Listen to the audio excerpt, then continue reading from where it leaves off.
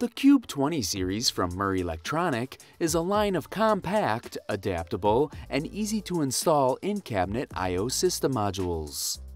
Designed with a high I.O. density, these robust modules can connect up to 15 I.O. modules after a bus node, which gives you a potential of nearly 488 I.O. connections within a radius of 3 feet.